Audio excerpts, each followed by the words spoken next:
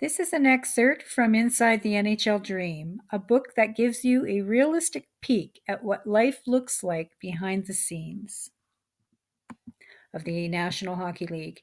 If youth and inexperience challenge adjusting to the NHL, imagine what it would be like for someone from a different culture, particularly if they don't know the language. IMG Managing Director J.P. Barry used Russian players as an example. I think Igor Kravchuk and Alexander Mogilny were pioneers. When Igor left the Russian team, it was still somewhat of a defection. Back then, the NHL wasn't prepared for the language and culture barrier. Some teams had Russian speakers work with the players. One of the fellows who worked four years with the New Jersey Devils and Ottawa Senators works with us now. He tried to help these players adjust. That was a big deal for the Devils and Senators to do that. Today, there's more than one Russian on almost every team, so they have that camaraderie. Most Swedes speak perfect English. If they're from Western Europe, they all speak English now, especially the younger ones. Even the Czechs teach English as a second language. As one of the first Russians entering the NHL, Igor Kravchuk was completely on his own. The language is the main barrier you have to overcome. You have to be able to communicate with the boys on and off the ice. That's a huge, huge problem that we faced coming over from another country. Personally, it took me six months to somehow start speaking English. Europe is a similar culture to North America, but coming from Russia, that's quite different.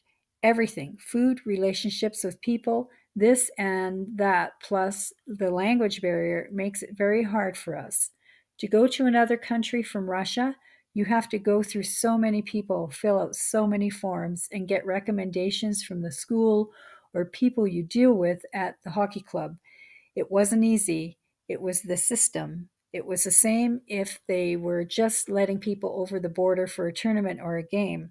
It wasn't specific for professional athletes, it was the same standard for everybody. When I got to Chicago, I didn't think anybody spoke Russian. In some ways it was better it was a better way to learn. If I had somebody speaking Russian, I wouldn't have learned as fast as I did. The cultural differences between Russia and North America extend to the ice. With the difference in development systems, Kravchuk admits there's no way it prepared him for the transition. Oh, absolutely not. There was that was out of the question when I was a kid, especially with the propaganda and the system we were living in. We didn't even hope to play in the NHL. It was a dream for us that we would never that was a dream for us that would never come true. Only Mikhail Gorbachev when he took over, things got better, especially for professional athletes. It was quite a relief. Eventually, playing in the NHL came to be, but when I was a kid, I I never could, never, ever dreamed about it. In Darius Kasparaitis' experience and having an accent, just having an accent stands you out from the rest of the team can be adjustment. It was hard coming here from another country. In the beginning, it was a lot of change. Everywhere I went, there were new things to see. Today, I feel more Americanized. It seems easy for me to be around the American environment, but there's still a lot of change coming from another culture people still don't treat you like an American. They're always going to think of you as a person from another world. The language adjustment depends on the person. If you're not shy talking, you're always going to learn. Some guys are shy and some guys are afraid, especially when the other guys make fun of you when you speak their language. Some will get mad, kind of go into themselves and quit talking. They can't take the jokes and keep talking like I do. I don't care what people say about how I speak. I just try, and that's that. But some guys get upset. That's okay. People always make fun of accents and other languages. I grew up in Lithuania and went to Russia. People made fun of me when I spoke Russian. I just got used to it. Players from Scandinavian, Scandinavian countries fared better at adjusting to North America, but there were still a number who didn't know the language like Teemu Selanne.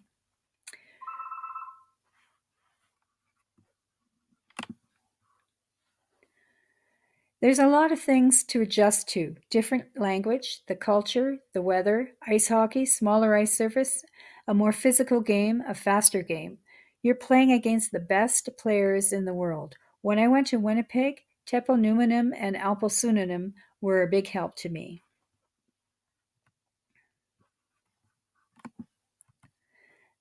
Mats Sundin says, the culture was different in many ways, but Canada is pretty similar to Sweden in terms of society and people. So it was so that part was easy. In terms of the game of hockey, it's a big difference with European ice. Sweden was pretty good has a pretty good development system for hockey and sport in general. So I think it's pretty similar to the way the kids develop here.